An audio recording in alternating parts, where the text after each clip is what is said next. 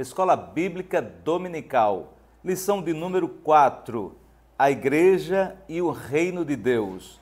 Nossa leitura diária da terça-feira está em Isaías 43, 15, que diz: Eu sou o Senhor, o Santo Deus de vocês, o Criador de Israel e o seu Rei. Deus é o Rei de Israel, bem como o Rei de toda a terra. O reino de Deus é o reino implantado na terra para que a glória de Deus, para que o poder de Deus, para que a ação de Deus aconteça.